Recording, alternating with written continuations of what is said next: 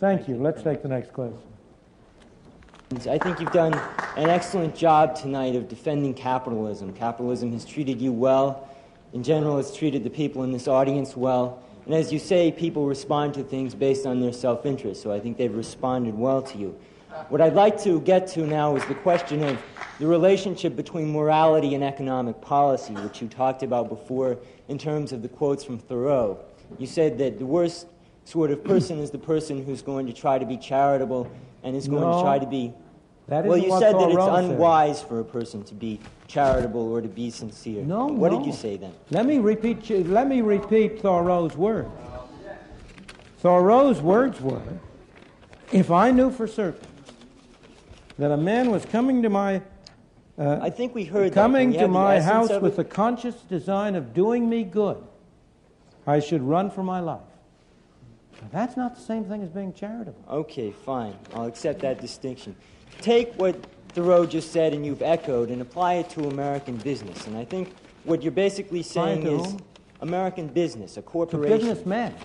You are the head of a corporation. Oh, you're applying You're to me as the head of a corporation, right? Can I ask you the question, please? Sure. Now, it seems to me that the implication is that that corporation should not try to do anyone else good, because then the people would run away. What they should do is pursue their own self interest. That means profit. And what I'd like to talk about is the implications of that in terms Sure. of three concrete examples.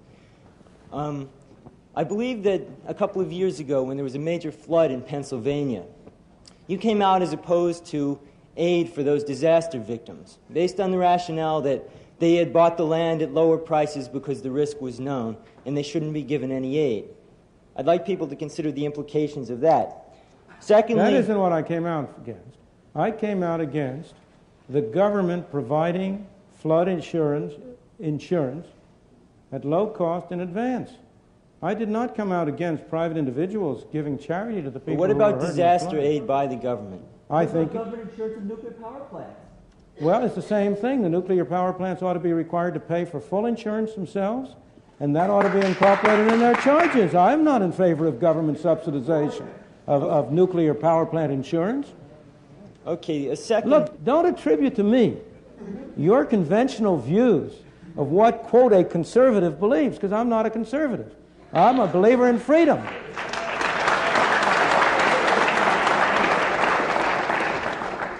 Well, then I'd like to talk about that using an example freedom.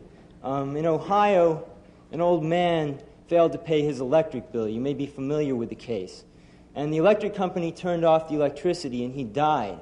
The reason they turned it off was because it wouldn't have been profitable for them to keep it on because he didn't pay his bill. Do you believe that was right? I don't know the details of that case at all, but I can well believe, but I'll be glad to. No, no, excuse me. In many of these cases, you hear stories which, when you find the details, are very different from those that are presented. But let's suppose it were true, which is what I was going to go on to say. You know, why do you want to stop me? Why do you assume I'm always going to give the wrong answer?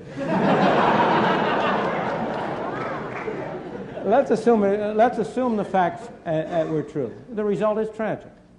Who is responsible? Is it really the responsibility? Should I blame the people? Let's suppose that the, for a moment, let's suppose that the electric company were to follow the practice of never turning off anybody's electricity. Let's just for a moment take that other extreme. Then this wouldn't have happened. Who would pay the cost? Are those Would the you- only two be- alternatives?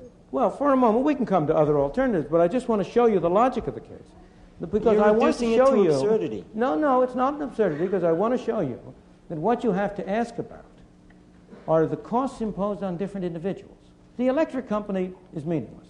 The electric company is a non human institution. The electric company, that what you must talk about are either the stockholders of the electric company, the employees of the electric company, or the customers of the electric company. Those are the people involved. Now, if you go to the other extreme and adopt a policy that the electric company will always, will never turn anything off, then you effectively institute a system under which the only people who will pay for electricity will be those who pay for it voluntarily.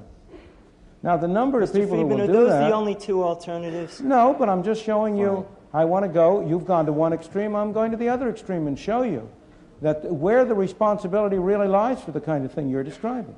The responsibility really lies not on the electric company for turning it off, but on those of this man's neighbors and friends and associates who are not charitable enough to enable him as an individual to meet the electric bill. You're, you're, blaming, you're blaming the wrong person for what happened. Okay, well, I think people understand that example.